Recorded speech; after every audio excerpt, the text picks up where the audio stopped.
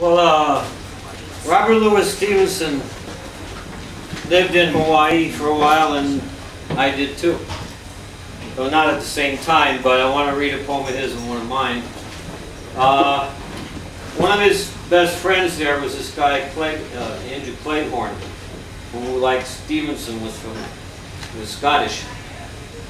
And uh, Clayhorn married into the Hawaiian royal family. And his daughter was Princess Ka'iulani, who uh, later uh, could have been Queen of Hawaii if they hadn't overthrown the monarchy. But there was a movie about her a few years ago. Was, I think it's on Netflix. Uh, but this is when she's 13 years old, uh, and she's about to go on her first trip to Europe and uh, to see Scotland, where her father came from. And so Stevenson is, and she's a little apprehensive about leaving Hawaii.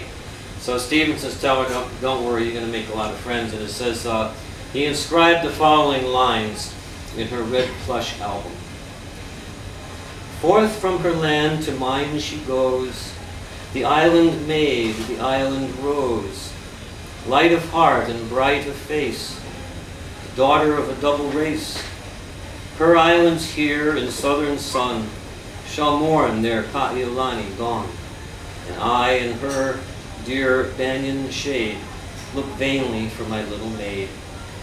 But our Scots islands far away shall glitter with unwanted day, and cast for once their tempests by, to smile in Ka'iulani's eye.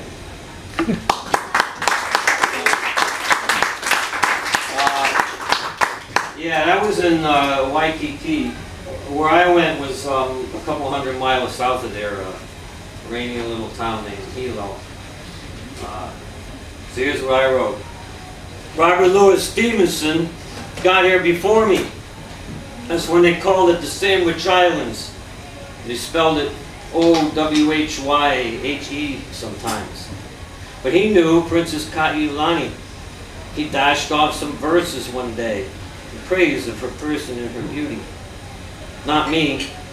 I got the former Miss Hawaii doing public service spots on the TV. She's pretty.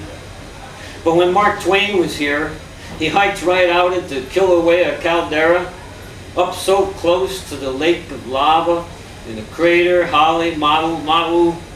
He could feel the ground he was walking on start burning through his shoes. And here I am, leaning on the rail, the Park Service overlook, checking my mobile device for the latest news. Jack London checked it out. He found himself a leper to write about. An archetypal symbol of his people's plight type leper, no less. Good work, Jack. But you know, that Hansen's disease is treatable now. We got something that isn't. You see, uh, Hawaii Island, viewed from above, if you're facing west, kind of resembles a female torso. But if so, Mother Nature has a lump in her breast at a spot called Pohakuloa. You see, they had to practice with that stuff somewhere before shooting it around over in Kosovo. Depleted uranium weaponry, don't you know? Rich in chemical toxicity, with ionizing radiation to boot. We did it in a place local folks still think is sacred. Put that in your pipe and smoke it, Somerset Maugham. You got your footprints in the jungle? How about footprints in the tangle of organic polymers down on Kamilo Beach? That's where they used to catch logs floating over from the Pacific Northwest. Now it's a giant landing zone for the Great Pacific Garbage Patch. Coffee cups from Guadalajara and McDLT clamshells from Vancouver, plus the occasional toothbrush dropped from a cruise ship passing in the night. There's now more plastic sand on that beach than there is the old-fashioned kind. Jack London's leper, Ko'olau was right. He saw us coming, he ran for the hills. So the plague came from Asia, the same came from Europe.